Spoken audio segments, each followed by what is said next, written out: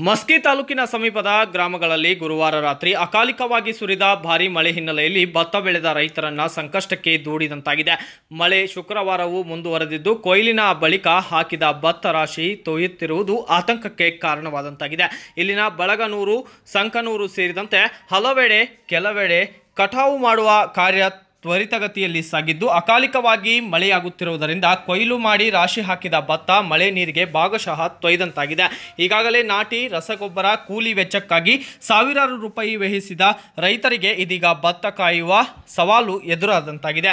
ನುಚ್ಚಾಗುವ ಭೀತಿ, ನಂತರ ಹದವಾಗಿ ಮಳೆಯಾಗಿರುವುದರಿಂದ ಇನ್ನೂ ಕಟಾವು ಮಾಡುವ ಹಂತದಲ್ಲಿನ ಭತ್ತದ ತೆನೆ ತೊಯ್ದು ಗಿರಣಿ ಮಾಡಿಸಿದರೆ ನುಚ್ಚಾಗುವ ಸಂಭವ ಹೆಚ್ಚಾಗಿದೆ. ಇನ್ನು ಬೆಳೆ ಹಾಳಾಗುತ್ತಿದ್ದು, ಸಂಬಂಧವಾಗಿ ಬೆಳೆದ ಗದ್ದೆ ಮಳೆ ಹನಿ ಹೊಡೆತಕ್ಕೆ ಅಲ್ಲಲ್ಲಿ ನೆಲಕ್ಕೆ ಬಿದ್ದಿದ್ದು ರೈತರಿಗೆ ಭಾರಿ ಹಾನಿ ಉಂಟಾಗಿದೆ.